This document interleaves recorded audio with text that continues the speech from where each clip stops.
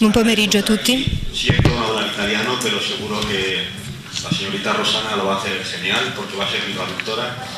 Espero ponérselo fácil. Y voy a ir hablando de forma que voy a decir dos o tres frases y ya lo traducirá. Hemos quedado así, va a ser más cómodo para los dos.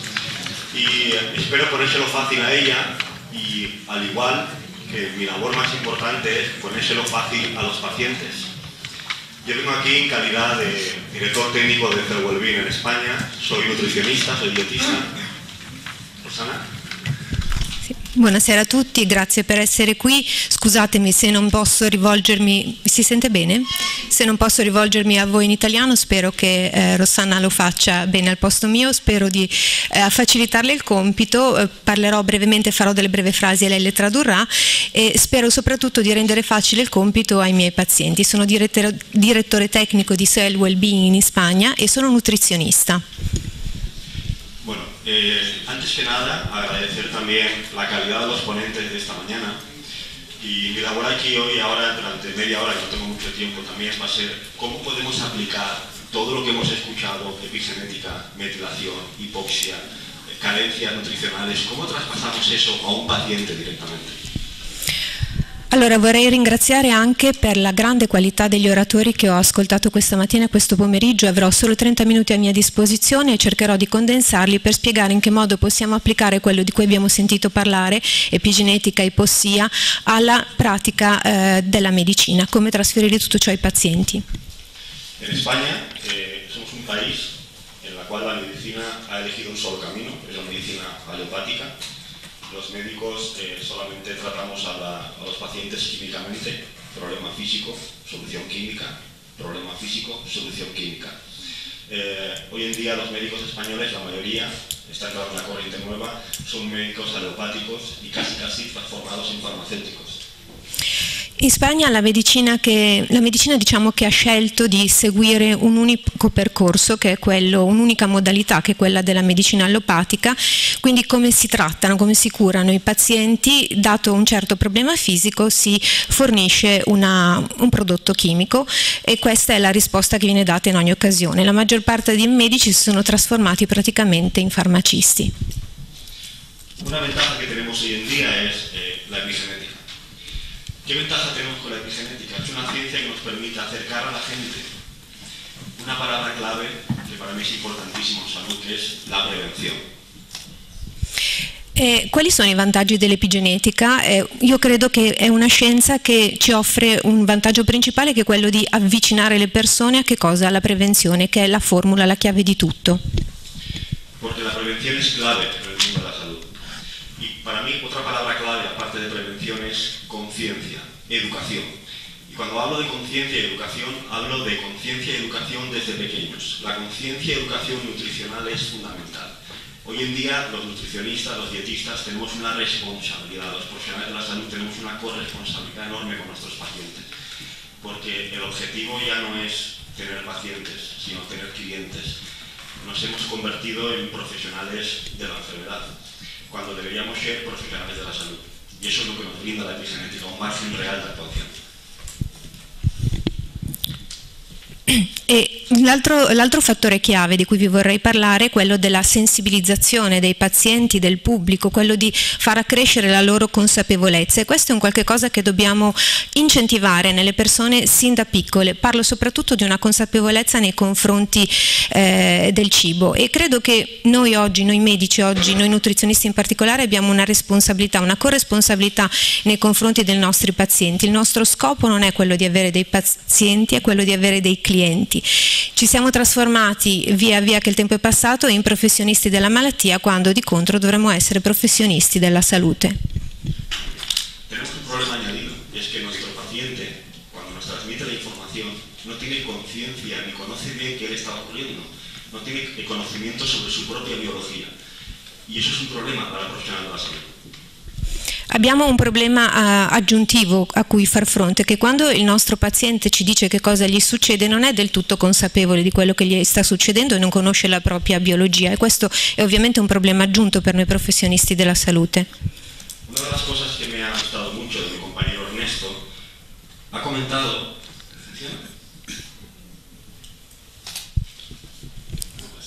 Tenía che passarlo? Eh, voleva passare la diapositiva, non funziona il telecomando? Una cosa importante es cierto cuando hablamos de epigenética, que nuestro ADN es siempre el mismo, no cambia nunca. Es nuestro plano, pero tenemos una ventaja celular y es que cada dos años somos seres celularmente nuevos. Es decir, sobre el mismo plano podemos construir varias veces el mismo edificio. En nuestras manos está que sean mejores paredes, mejores techos, mejor reconstruido. Esa es la epigenética real. Funziona. Eh, c'è una cosa che ho eh, amato in particolare dell'intervento di Ernesto. Una cosa importante che dobbiamo ricordare in genetica e in epigenetica in particolare è il nostro DNA che è sempre uguale a se stesso, il DNA non cambia, però abbiamo un vantaggio in questo senso, dobbiamo ricordare che ogni due anni ci rinnoviamo completamente sotto il profilo cellulare, siamo cellularmente nuovi, quindi con uno stesso progetto possiamo costruire più e più volte lo stesso edificio. Se farlo bene con migliori mura portanti o meno dipende da noi. Una de las cosas que más nos impresionó en el proyecto Genoma Humano cuando se llevó a cabo es que en un principio se contaron que teníamos aproximadamente unos 25.000 genes. Eso ya fue un factor bastante especial porque sabíamos que tan solo un grano de arroz contiene 50.000 genes. Eso desbancó bastante eh, la teoría dogmática de, de, del dogma genético. Pero eso nos abrió una puerta nos abre la puerta a que tenemos un epigenoma, que es una expresión génica, un fenotipo, que es totalmente alterable. Nacemos con el mismo ADN que morimos, pero nacemos con un epigenoma totalmente differente al che morimos.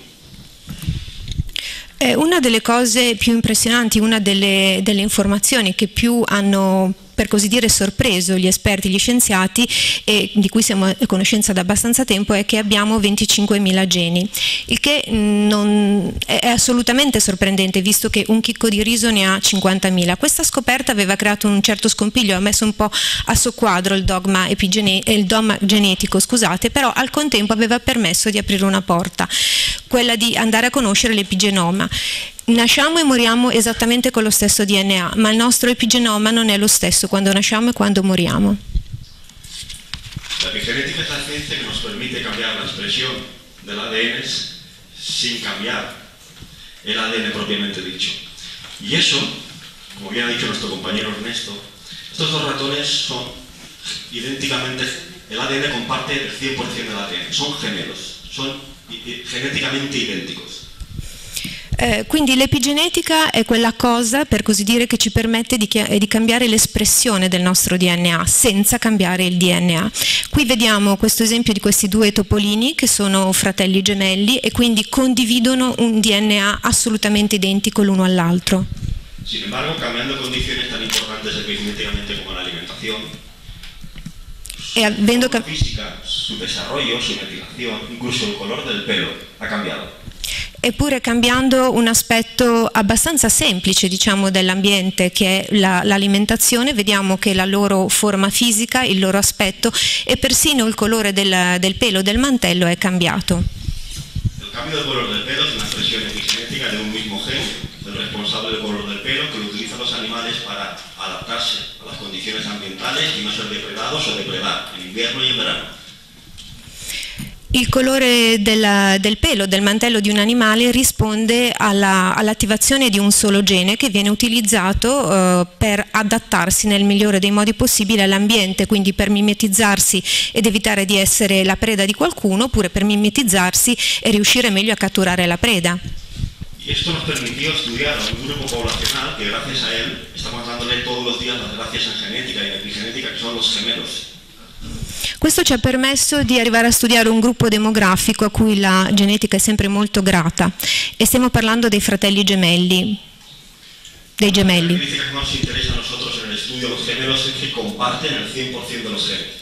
La cosa più importante che ci interessa dei gemelli, li rende così interessanti per la genetica, è che condividono il 100% del proprio patrimonio.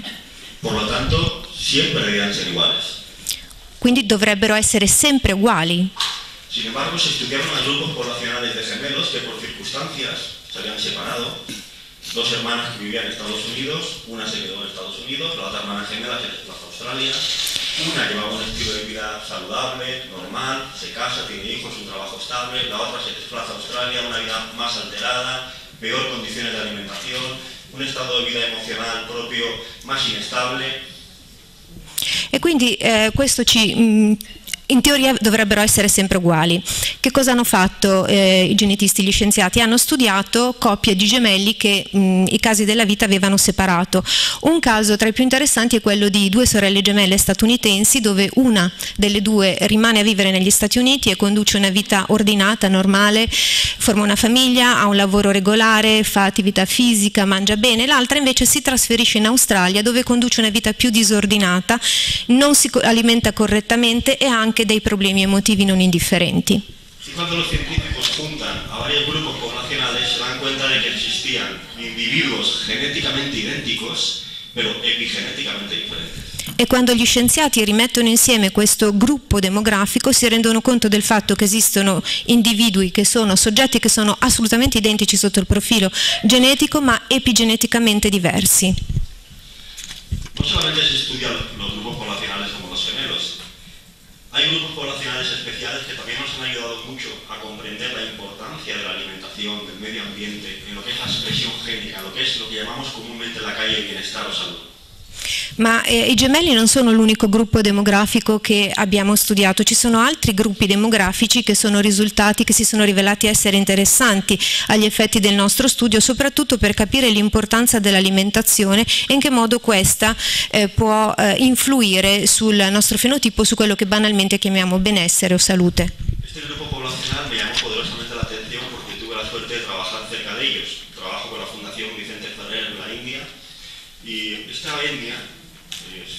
la India, tiene un tipo de alimentación por sus costumbres religiosas que solo comen vegetales.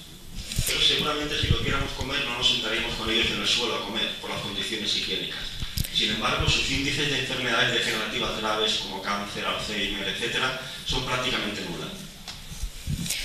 Questo gruppo demografico è stato molto interessante per me perché ho collaborato sempre con la Fondazione Vicente Ferrer che lavora in India e um, questa etnia si è rivelata molto interessante sotto il profilo dello studio della loro alimentazione. Per motivi religiosi mangiano esclusivamente vegetali e vedendoli mangiare magari non vorremmo condividere la tavola con loro perché non ci sembrerebbe sufficientemente igienico il loro modo di comportarsi. Eppure sono tra le popolazioni più sane che possiamo trovare, hanno indici di morbilità bassissimi, soprattutto di malattie come i tumori tumori e altre eh, malattie neurodegenerative. Sin embargo, cuando esta población parte de ella emigra a Europa, cuando llegan a Europa siguen manteniendo su alimentación por motivos religiosos, siguen comiendo solamente vegetales, pero parte de esa población empieza a enfermar. Entonces los científicos empiezan a estudiar y se dan cuenta de que lo que había cambiado es que en Europa tenemos la costumbre, hemos pasado de higiene a asepsia total, es decir, lavamos las frutas y las verduras, las desinfectamos completamente, arrastrando vitaminas epigenéticamente importantes en la lucha contra el cáncer. Succede che una parte di questa popolazione si trasferisce ad un certo punto in Europa e in Europa mantengono le loro abitudini alimentari, e tuttavia cominciano ad ammalarsi con maggiore frequenza rispetto a quando si trovavano in India. Gli scienziati studiano questo gruppo, cercano di capire perché e si rendono conto che in Europa, anziché limitarci all'igiene dei cibi, cioè lavarli, li rendiamo asettici, li disinfettiamo completamente e con la disinfezione trasciniamo via un sacco di vitamine che di contro ci proteggerebbero dai tumori. Una cosa muy importante que nos ocurre en la sociedad actual es que el ser humano cada vez nos conocemos menos a nosotros mismos. Vamos funcionando como un automóvil y cuando me estropeo hemos creado una figura que denominamos profesional de la salud para que me repare. Nos ponemos en manos de ellos. Eh, c'è una cosa importante che, da, da, ricordare, eh, è che noi esseri umani ci conosciamo dal punto di vista biologico e naturale sempre meno, conosciamo sempre peggio noi stessi, eh, ci comportiamo di fatto come delle macchine, come degli automi e quando per così dire ci guastiamo ci rivolgiamo al, a un professionista della, della salute a cui chiediamo una soluzione pronta. Quando generalmente solemos ser profesionales de la enfermedad, sabemos ayudar cuando la gente ya ha caído Pero enseñar a la gente a andar para que no caiga, eso es un profesional de la salud. Y aquí es donde entra la epigenética con fuerza en los profesionales. E ci definiamo professionisti scusate, della sanità sanitari quando in realtà siamo professionisti delle malattie, siamo bravi a far rialzare la gente quando la gente è caduta, anziché insegnare a loro dall'inizio come camminare per evitare di cadere. E dovremmo davvero cercare di trasformarci da professionisti della malattia che siamo in professionisti della salute. ¿Cuál es nuestra labor real como profesionales de la salud cuando tenemos un paciente delante? En mi caso, como dietista, que trabajo con la epigenética para ayudar a mis pacientes, creo que la palabra clave es educar. Y para ello hay que concienciar, pero no solamente en una consulta médica, sino creo que es imprescindible educar y concienciar desde pequeños. Una solicitud que se está haciendo en España al Ministerio de Educación es que en las escuelas se estudie nutrición. Es importantísimo que la gente se conciencie, porque si no hay conciencia no hay acción. Y para eso es muy importante estudiar los factores de In cosa consiste l'operato reale di un professionista eh, sanitario della salute? Io da, da dietologo, da, da, nutrizionista, quello che cerco di fare per aiutare i miei pazienti si basa tutto su un, quello che io considero un principio chiave, che è educare, istruire, o per meglio dire sensibilizzare, creare consapevolezza. E questo è un qualche cosa che non dovrebbe essere fatto solo nello studio di un medico, di un ambulatorio, ma si dovrebbe iniziare a fare con la popolazione quando abbiamo davanti a noi dei bambini. In Spagna il Ministero eh, dell'Educazione, il Ministero dell'Istruzione ha organizzato, vorrebbe organizzare presso le scuole elementari dei corsi di nutrizione, proprio perché si è consapevoli del fatto che senza consapevolezza di, quel, di qualcosa non c'è l'azione necessaria per correggerla. Una cosa muy importante, y es la primera palabra importante dentro de los factores epigenéticos del estilo de vida, es la palabra dieta. Esa palabra no me gusta nada. Cuando la gente en la consulta escucha dieta, uy, ¿Qué me vas a poner? ¿Lechuga? ¿Arroz? ¿Pollo? Hoy en día consideramos dieta a un régimen alimentario estricto. Antes un compañero, Luca, creo que se denominaba, eh, hablaba de las calorías, es cierto, no todas las calorías son iguales. Y la palabra dieta proviene del griego diet. Hace dos mil años los griegos denominaron diet a come saludablemente, realiza ejercicio físico moderado, y ojo al dato con los griegos, piensa saludablemente. Eso era dieta, cosa que hoy en día no tenemos nada que ver con esa palabra. E la cosa, l'aspetto più importante che io vedo nel mio lavoro eh, si può riassumere nella parola dieta, una parola che non mi piace affatto, se devo essere sincero, quando i pazienti vengono da me in studio e parlo loro di dieta mi guardano già con sospetto e mi chiedono che cosa vuoi, che viva di lattuga, pollo ai ferri, riso bollito. Eh, diciamo che ormai per noi la connotazione della parola dieta equivale a regime alimentare fatto di restrizioni. Eh, ne parlava giustamente Luca questa mattina quando però ci diceva che le calorie non sono assolutamente tutte uguali, ma in realtà la parola dieta viene dal greco diet che voleva dire nutriti, mangia in modo salubre, eh, fai attività fisica moderata e attenzione alla cosa più importante, pensa in modo salubre, pensa in modo sano, tutte cose che oggi facciamo esattamente al contrario. Totalmente extrapolable al resto de factores. Cuando hablamos de sueño, en España somos una población que cada vez dormimos peor.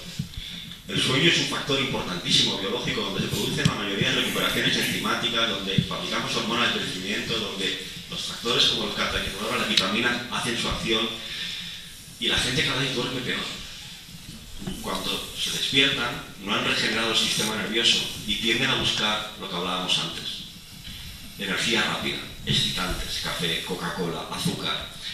Pero no solamente eso, estamos pasando epigenéticamente esa conciencia a nuestros hijos. Es importantísimo, el metabolismo del sueño. La gente que tiene que concienciar que la habitación es un centro de descanso y tiene que estar limpia, como luego veremos de radiaciones, etc. Tutto questo ovviamente può essere estrapolato anche ad altri fattori, come per esempio il sonno. Eh, devo dire che gli spagnoli dormono sempre peggio, hanno una qualità del sonno abbastanza cattiva e, e Invece quando dormiamo e quando mh, dovrebbe avvenire tutta una serie di fenomeni di recupero e riparatori, e gli enzimi fanno il loro lavoro, l'ormone della crescita fa il proprio, le vitamine pure, e invece la gente dorme sempre peggio, sempre peggio. Quando si sveglia al mattino non si sente affatto rigenerata riposata e ricorre, come dicevamo prima, tutta una serie di elementi stimolanti per funzionare dal caffè alla Coca-Cola agli zuccheri. E quello che è ancora peggio trasmette sia dal punto di vista educativo sia dal punto di vista metabolico tutte queste abitudini ai figli. Eh, la stanza dove dormiamo dovrebbe essere completamente pulita, completamente scevra da ogni tipo di radiazione. Una cosa muy importante también, que me gusta mucho, porque yo en España, eh, mi especialidad nutricional son los deportistas de alto rendimiento, de élite. Tengo la suerte de trabajar con los mejores deportistas nacionales de alto rendimiento, selección española de fútbol, clínica Nadal, etc. Es la palabra ejercicio. Genéticamente estamos programados para movernos. Somos seres articulares y hemos nacido corriendo para no ser depredados, recolectando, moviéndonos. Y actualmente estamos reprogramándonos epigenéticamente para no movernos. Es decir, el ser humano ya no se mueve. Cogemos el coche para todo, vivimos en el segundo piso, el ascensor está en el octavo y esperamos una hora que baje. Eso está produciendo muchísimos problemas a nivel articulares, cardiovasculares, del sistema nervioso, musculares, y es un factor epigenético importante. No nos movemos y luego pagamos en un gimnasio para subir escaleras. El ser humano está hecho para moverse, el ejercicio es moverse y es un factor epigenético fundamental. Un'altra cosa eh, che ritengo molto importante, che oltretutto amo molto, visto che la mia specialità in Spagna è quello di seguire gli sportivi, gli sportivi ad alto rendimento, gli sportivi di elite, infatti lavoro con la, con la nazionale di calcio spagnole, con la clinica Nadal, è l'esercizio fisico. Noi come esseri umani saremmo, siamo programmati per muoverci, siamo nati eh, correndo tra le montagne per evitare di, essere, di finire come la preda di qualcuno e al, al rovescio, al contrario oggi ci stiamo riprogrammando epigeneticamente per evitare di muoverci. Utilizziamo la macchina per qualunque spostamento per quanto breve, aspettiamo l'ascensore un quarto d'ora se viviamo al secondo piano perché è bloccato all'ottavo e tutto ciò porta a una eh, lunghissima serie di problemi cardiovascolari del sistema nervoso, articolari e quant'altro. Non ci muoviamo affatto e poi la cosa paradossale è che paghiamo una palestra dove eh, saliamo e scendiamo eh, delle scale e in cambio quando parliamo di esercizio ejercicio físico de actividad, ci referiamo semplicemente al fatto di muoverci normalmente. Otro factor muy importante es el medio ambiente. Aquí es cuando la gente se echa un poco atrás y dice, bueno, si yo todo esto no lo hago bien, ahora cuando llego aquí que no tengo nada que hacer, ya estoy perdido. Sin embargo, el medio ambiente es verdad que desde el año 1930 con la revolución industrial, la carga de químicos, de radiaciones, de metales pesados, de sustancias tóxicas ha aumentado de forma que biológicamente no nos ha dado tiempo a adaptarnos. No han pasado ni 100 años. Y encima el ser humano se ha vuelto biológicamente vago. Estamos siempre en nuestra zona de confort. Salimos de ella y enfermamos. Invierno, calentitos, calefacción a tope, verano, aire acondicionado. Nuestro sistema inmune no actúa.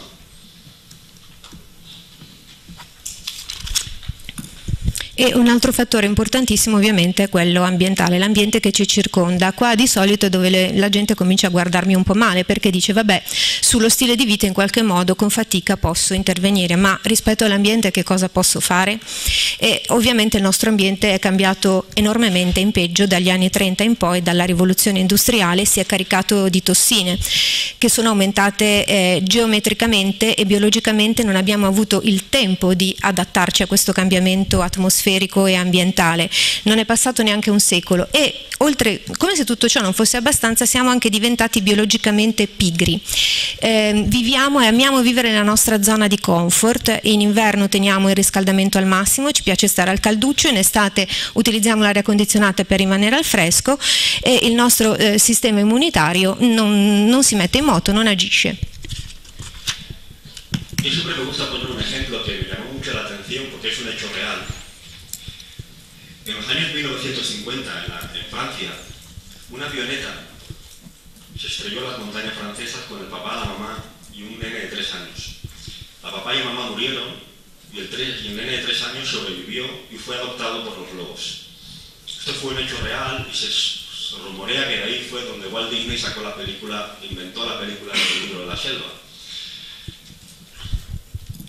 Eh, vorrei portarvi un esempio che mi piace molto e che si riferisce ad un fatto reale. Nel 1950 in Francia un aeroplanino da turismo si è schiantato sulle Alpi. Sull'aeroplanino viaggiava una famiglia, i genitori con il, il, figlio, un bambino di 4 anni, i genitori muoiono nell'incidente aereo e invece il bambino sopravvive e viene allevato eh, dai lupi. Si tratta di un fatto assolutamente reale e ci sono delle voci che dicono che Walt Disney si sia ispirato a questo fatto per scrivere il libro libro e poi il film Il libro della giungla.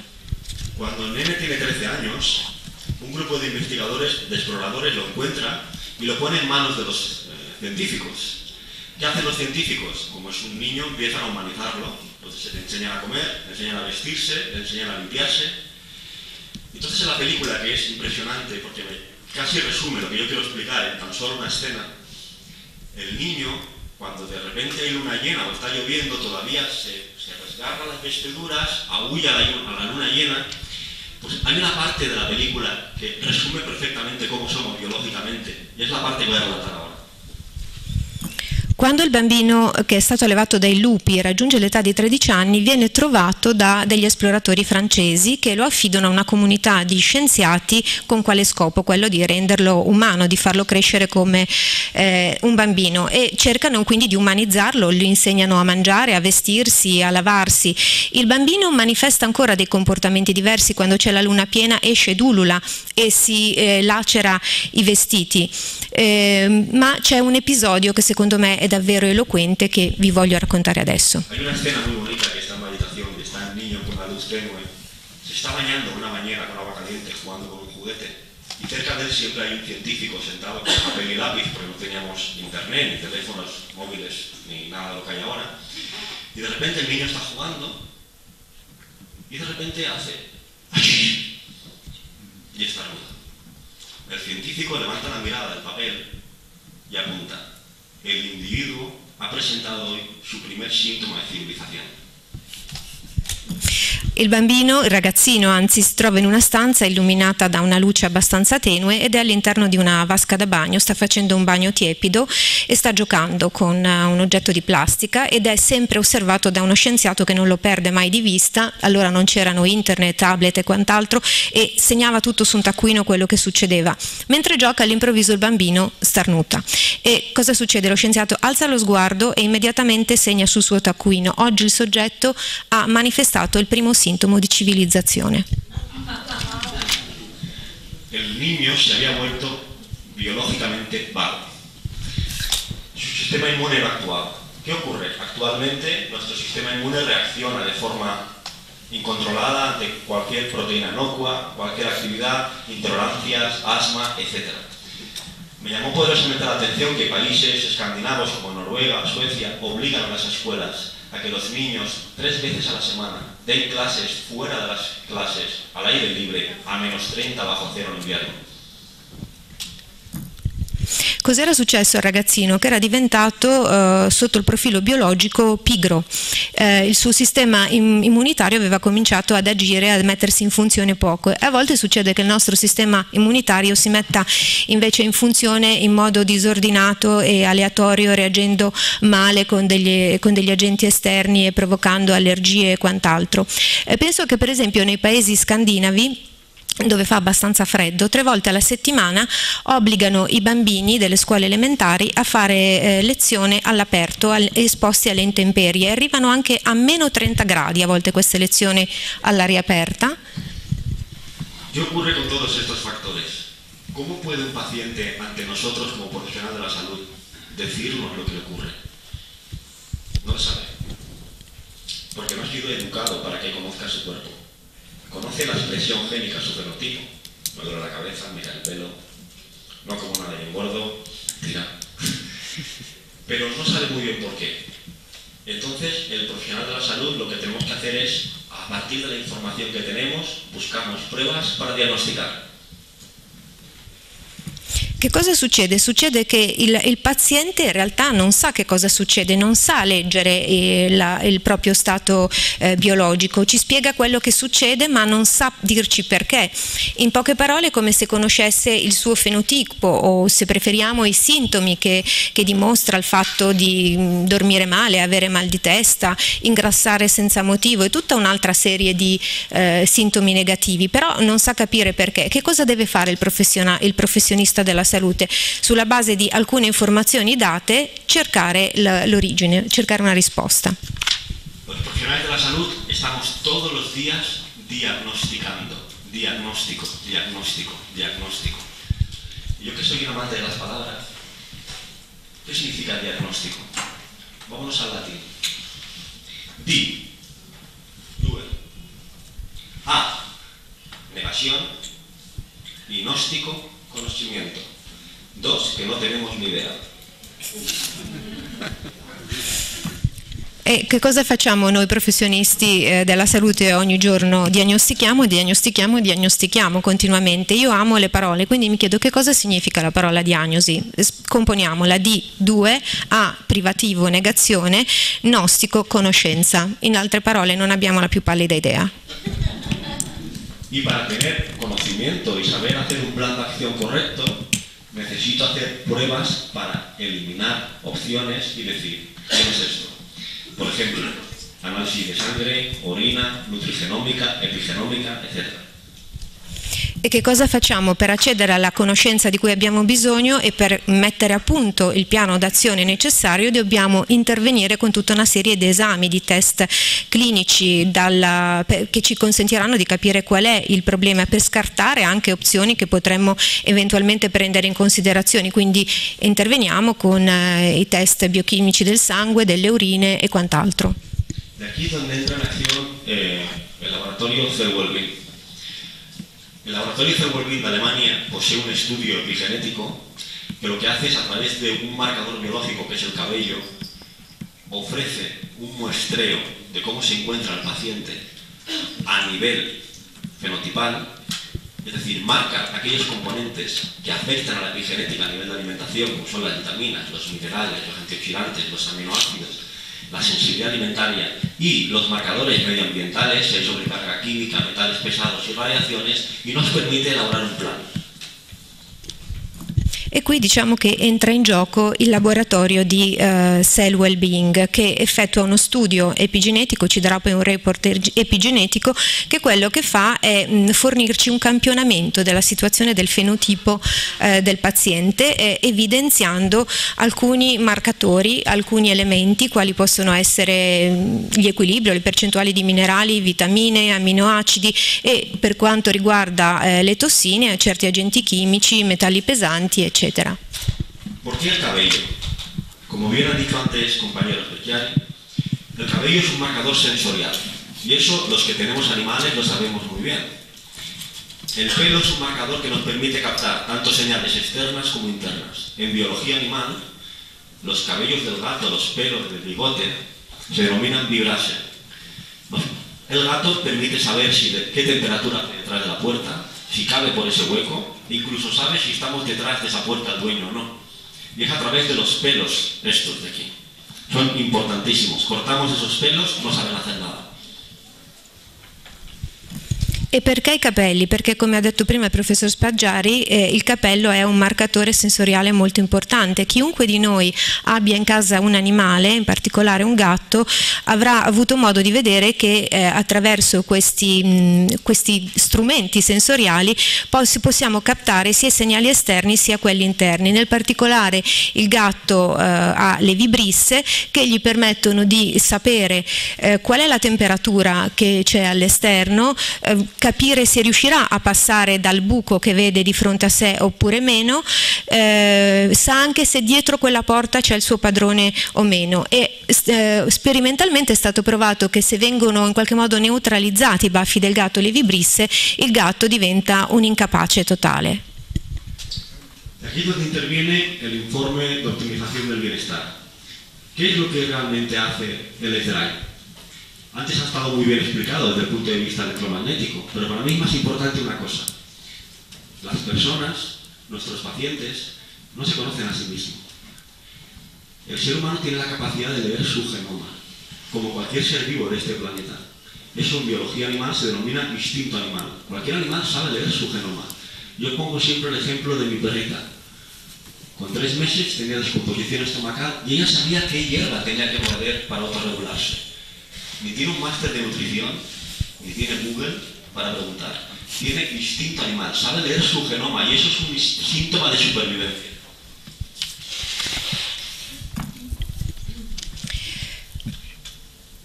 Quindi che cosa ci permette di fare il, um, questo, questo, report eh, che mh, mm, dovremmo utilizzare per ottimizzare al meglio il, il nostro benessere? Quello che mh, mm, è stato spiegato molto bene prima sotto il profilo elettromagnetico, ma a me interessa una prospettiva un po' diversa. Di solito il paziente, come abbiamo detto, non sa cosa succede, non conosce la propria biologia e il proprio genoma, eppure come esseri umani dovremmo, saremmo in grado di leggere il nostro genoma, come lo fa qualunque altro animale sulla faccia della terra.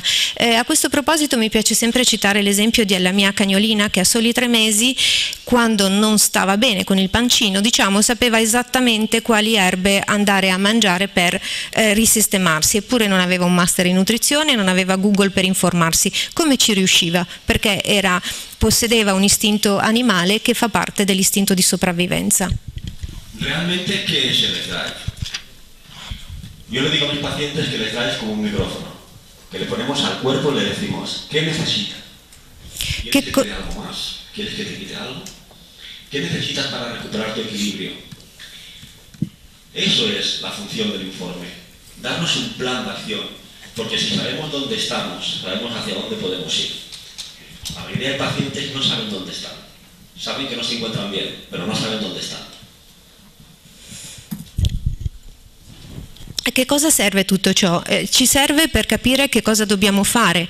Eh, il less driving, che cosa consiste? È una sorta di microfono, se lo voglio spiegare sotto questo profilo ai miei pazienti, un microfono che avvicino al mio corpo, all'organismo e gli chiedo di che cosa hai bisogno, che cosa posso fare per te perché ti possa sentire meglio, cosa devo fare perché tu possa riacquisire il tuo equilibrio e quindi il nostro report epigenetico ci dirà eh, come possiamo eh, mettere insieme, come possiamo mh, elaborare un piano d'azione, dobbiamo capire dove ci troviamo per capire in quale direzione ci dobbiamo muovere. Quello su che succede ai pazienti è che non sanno dove si trovano, sanno solo che non si sentono bene. Una de las cosas, termino porque estamos cansados la hora que es tengo muy poco tiempo, una de las cosas que de nos ha enseñado la epigenética a los profesionales de la salud son dos cosas. La primera es que nada pasa por casualità, tutto passa per causalità. E questo è uno degli ultimi principi che vorrei enunciare perché ho, poco tempo e lo vorrei dire proprio concludendo. Una delle cose che l'epigenetica ci ha insegnato nei professionisti della salute è che niente succede per caso, tutto succede a causa di una causa ben precisa. Y después tenemos una frase en España que nos gusta mucho y es que siempre decimos, como decía Ernesto, la genética es inalterable, De hecho, la genetica carga l'arma sempre, però la epigenetica preta il gatillo. E vorrei concludere con una frase che ripetiamo spesso in Spagna, sappiamo che la genetica è inalterabile e quindi possiamo dire che la genetica quello che fa è caricare l'arma, ma l'epigenetica preme il grilletto. Y termino con esta parte de la conferencia citando a un profesor que yo tenía en la universidad que quería mucho y me dijo una frase que me marcó mucho en, en la salud y creo que es así. Él me decía, Esteban, si crees que no tienes tiempo para cuidar tu salud, algún día te darás cuenta de que tienes tiempo para estar enfermo. E vorrei concludere ulteriormente citando una frase che mi ha più volte rivolto un mio professore verso il quale nutro grande affetto, è stato mio professore all'università in Spagna e mi diceva Esteban, se credi di non aver tempo per curarti, credimi, un giorno la vita ti insegnerà che il tempo per ammalarti ce l'avrai. Tenemos una corresponsabilidad como profesionales de la salud enorme. Debemos de concienciar, de educar a nuestros pacientes a que la salud es un camino largo, constancia, como todo en la naturaleza y en la vida. Agradecernos a todos que estén aquí, ha sido un placer, tengo poco tiempo, no quiero hacerlo muy largo, y quería hacerle un pequeño homenaje al factor epigenético para mí más importante que existe en la naturaleza, que son las madres. Quería darle un fuerte abrazo a Giorgio, porque sé que su mamá es responsable de esta epigenética.